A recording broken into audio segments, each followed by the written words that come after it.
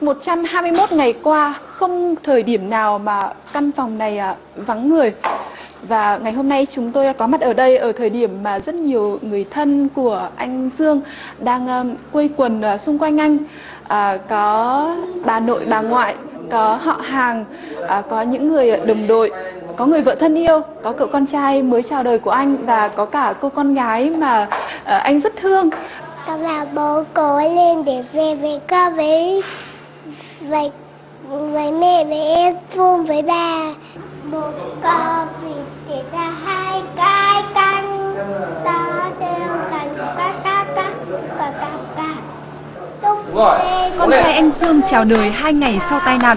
Thượng úy Đinh Văn Dương sinh năm 1983, quê ở huyện Kim Bảng, tỉnh Hà Nam, nhập viện với chẩn đoán đa chấn thương, bỏng lửa 67%, bỏng hô hấp.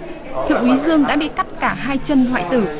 Tất cả những điều kiện về thuốc, trang thiết bị máy móc hiện đại nhất, cùng tình cảm và nỗ lực tối đa về chuyên môn của các y bác sĩ đầu ngành được tập trung cho việc cứu chữa.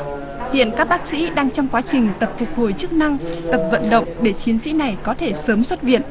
Đây là lần đầu tiên ở Việt Nam trường hợp bỏng rộng, độ sâu lớn, đa chấn thương, suy đa tạng được cứu sống.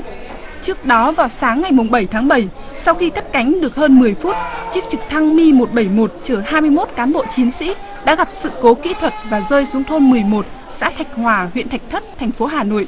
20 chiến sĩ hy sinh, sự bình phục của Thượng úy Dương là tin vui không chỉ với gia đình, đồng đội, các y bác sĩ đã cứu chữa, chăm sóc anh suốt thời gian qua, mà còn đối với khán giả cả nước đã dành nhiều tình cảm, sự quan tâm cho những chiến sĩ đã gặp nạn trong chiếc máy bay Mi-171 4 tháng trước. Mai chị dắt đi chơi nhá.